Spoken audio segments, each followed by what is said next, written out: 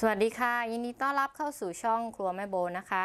ในคลิปนี้โบจะพาเพื่อนๆมาทำเมนูหมูตุ๋นค่ะ วิธีการทำหมูตุ๋นแบบง่ายๆ วิธีนี้สูตรนี้สามารถเอาไปทำกินหรือว่าทำขายก็ได้นะคะ จะเอาไปทำเป็นก๋วยเตี๋ยวหมูตุ๋นหรือว่าจะเป็นข้าวหมูตุ๋นก็ได้ค่ะ เดี๋ยวเรามาดูสูตรและวิธีการทำกันเลยนะคะ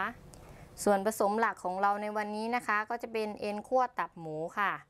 วันนี้โบใช้ทั้งหมด 1.3 กิโลกรัมนะคะ เลือกซื้อมาจากตลาดเอาที่สดใหม่นะคะ แล้วก็นำมาล้างทำความสะอาดค่ะ ใช้เกลือประมาณ 1กำมือนะคะ แล้วก็น้ำส้มสายชูนิดหน่อยค่ะ ใส่ลงไปแล้วก็ขยำขยำขยำจนกระทั่งเขาหมดเมื่อคราวนะคะ แล้วก็ล้างทำความสะอาดด้วยน้ำสะอาดสัก 1-2 น้ำค่ะ เสร็จแล้วเราก็จะนำเอ็นคั่วตับเนี่ยมาหั่นนะคะ เดี๋ยวเรามาดูวิธีการหั่นกันเลยค่ะ วิธีการหั่นเอ็นขั้วตับนะคะ เราก็จะหั่นให้เนื้อติดเอ็นแบบนี้นะคะ เวลาที่ตุ๋นออกมาแล้วก็จะได้เป็นชิ้นสวยน่าทานค่ะ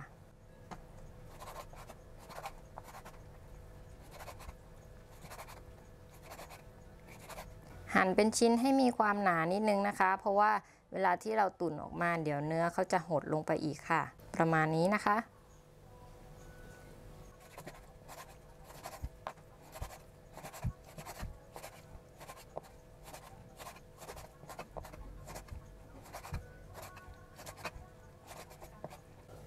พอเราหั่นเอ็นคั่วตับหมูเสร็จเรียบร้อยแล้วนะคะ ต่อมาเราก็จะมาเตรียมเครื่องสำหรับตุ๋นหมูตุ๋นกันค่ะ ก็จะมี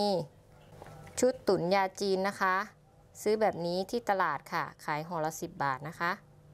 เขาก็จะมีเครื่องสมุนไพรมาให้เราเสร็จเรียบร้อยแล้วในชุดเดียวนะคะ เราก็จะใช้ทั้งหมด 2 ชุดค่ะ แบบนี้นะคะพริกไทยเม็ดบดหยาบๆค่ะ 1 ช้อนโต๊ะ รากผักชี 5 รากแล้วก็กระเทียมค่ะ ประมาณ 5กลีบนะ แล้วเราก็เตรียมห่อลงในผ้าขาวบางทั้งหมดเลยค่ะ เราก็จะแกะชุดตุ๋นยาจีนก่อนนะคะ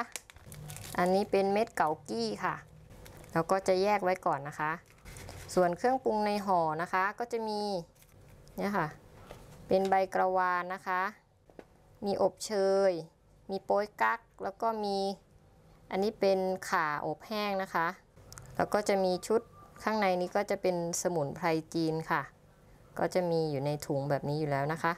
เราก็จะใส่ลงไปในผ้าขาวบางทั้งหมดเลยค่ะ ยกเว้นตัวนี้นะคะ อันนี้เขาเรียกเกากี้เนาะกินได้ค่ะตุนออกมาเสร็จแล้วเราก็กินได้นะคะอันนี้ ส่วนพวกเครื่องสมุนไพรพวกนี้เราก็ใส่ในผ้าขาวบางให้หมดเลยค่ะ เวลาที่เราต้มไปแล้วเนี่ย มันจะได้ไม่ลอยเกะกะอยู่ในหม้อนะคะ แล้วเราก็ใส่เม็ดพริกไทยลงไปค่ะ 1 ช้อนโต๊ะ รากผักชี เราจะใส่ในห่อหรือว่าจะใส่ในหม้อก็ได้นะคะ รากผักชีเดี๋ยวโบจะใส่ในหม้อนะ แล้วก็อันนี้เป็นกระเทียมค่ะ ใส่ลงไปด้วยกันเลย เสร็จแล้วเราก็ห่อเลยค่ะ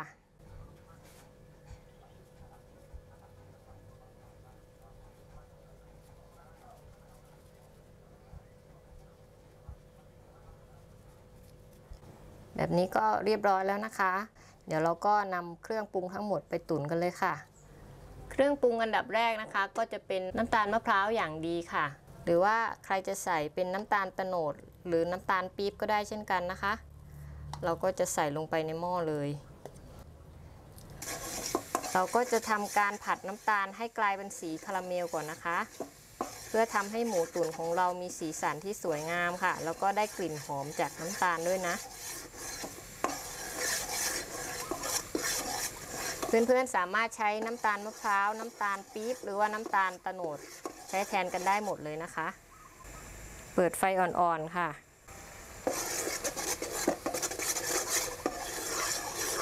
ผัดไปเรื่อยๆ จนกระทั่งน้ำตาลเขากลายเป็นสีออกคล้ำนะคะ ให้สีเข้มขึ้นพอประมาณตามที่เราชอบได้เลย แต่ถ้าเราผัดนานเกินไปน้ำตาลก็จะไหม้ค่ะ แล้วก็จะทำให้ตัวหมูตุ๋นของเรามีรสชาติขมได้นะ เราต้องกะให้มันพอดีค่ะ ตอนนี้น้ำตาลก็เริ่มส่งกลิ่นหอมแล้วนะคะ เดี๋ยวเราจะใส่ซีอิ๊วขาวลงไปเลยค่ะ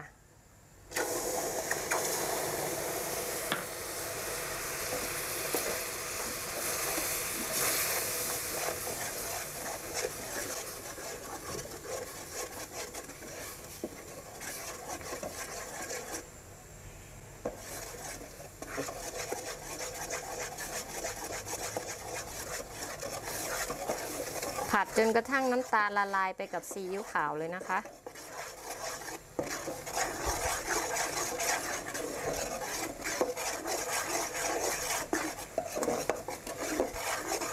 พอเราใส่ซีอิ๊วขาวแล้วก็น้ำตาลละลายดีเรียบร้อยแล้วนะคะ เราก็จะใส่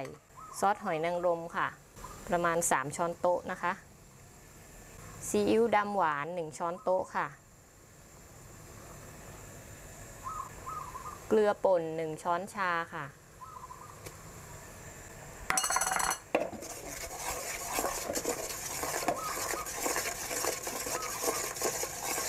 คนจนกระทั่งเครื่องปรุงทุกอย่างละลายดีเรียบร้อยนะคะ เราก็จะใส่เอ็นขั้วตับลงไปเลยค่ะ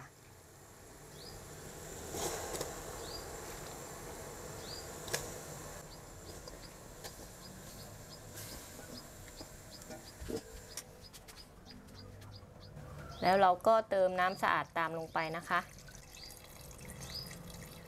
เติมลงไปแค่พอทั่วหมูก็พอนะคะ พอเราปรุงรสแล้วก็ใส่น้ำลงไปเรียบร้อยแล้วนะคะ เราก็จะใส่เครื่องเทศลงไปค่ะ ใส่เครื่องเทศที่เรามัดใส่ในผ้าขาวบางนะคะ ลงไปให้หมดเลย กดลงไปให้จมค่ะ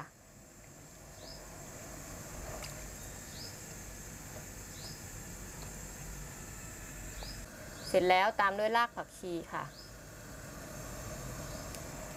แล้วก็ใบเตยมัดนะคะ สักประมาณ 3-4 ใบค่ะ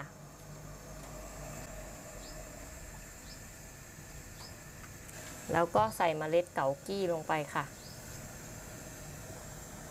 ตามด้วยเห็ดหอมแช่น้ำนะคะ สักประมาณ 10 ดอกค่ะ ในขั้นตอนนี้เราจะใช้ไฟอ่อนในการตุ๋นนะคะ ใช้เวลาตุ๋นไปประมาณ 2 ชั่วโมงค่ะ หรือจนกว่าเอ็นขั้วตับจะเปื่อยนุ่มนะคะ ถ้าบ้านไหนมีหม้ออัดแรงดันก็สามารถใช้ตุ๋นได้เลยค่ะ จะช่วยย่นเวลาได้อีกนะคะ ถ้ามีฟองลอยขึ้นมาแบบนี้เราก็ช้อนฟองออกได้เลยค่ะ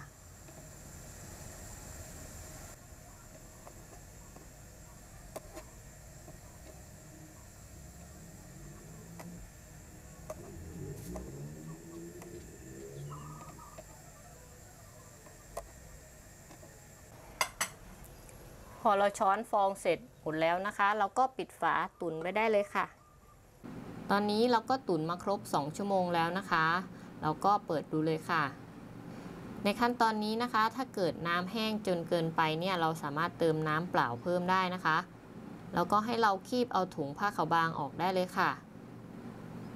เสร็จแล้วใครอยากจะปรุงรสอะไรเพิ่มก็สามารถปรุงรสได้ในขั้นตอนนี้เลยนะคะ